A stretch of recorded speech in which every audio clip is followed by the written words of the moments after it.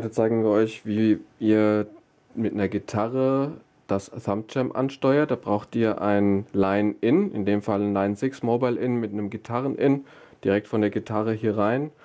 Nehmt ihr irgendeinen Sound und hier unten links gibt es einen Button mit dem Mikrofon und einem Notensignal, dann ist es aktiv.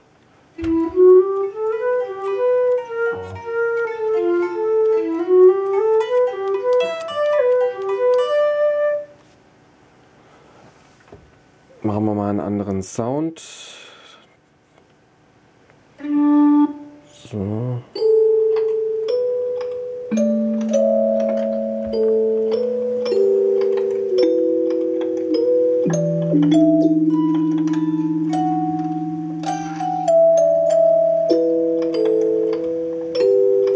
thank